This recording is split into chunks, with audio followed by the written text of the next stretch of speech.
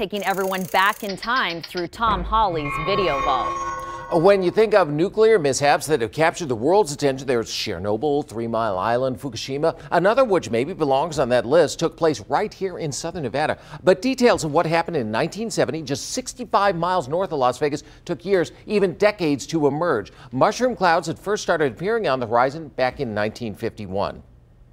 For here at the Nevada test site, we are engaged in the grim business of survival. A government newsreel shows how tests were conducted until 1962. After that, everything was supposed to be underground.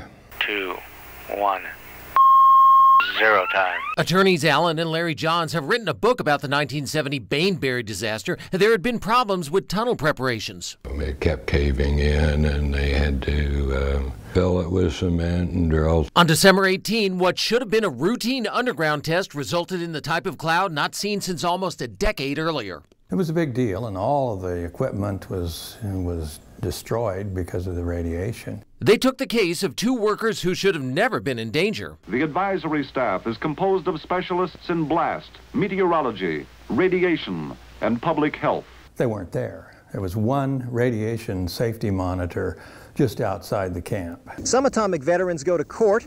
Others publish newsletters full of such words as leukemia, polycythemia vera, lymphosarcoma, and multiple myeloma, all meaning one thing cancer. The case dragged on with appeal after appeal. The final ruling was that the government had been negligent but was not held liable for the men who died of cancer. The problem was that the Federal Tort Claims Act is very restrictive.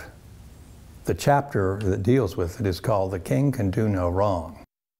While the Johns brothers were not able to get compensation for their clients, they maintained that their case led to a key part of the Radiation Exposure Compensation Act of 1990, which to date has paid out more than $2 billion to some 21,000 successful claimants. We have a link to the Baneberry disaster in the Video Vault section of News3LV.com. Great story, Tom.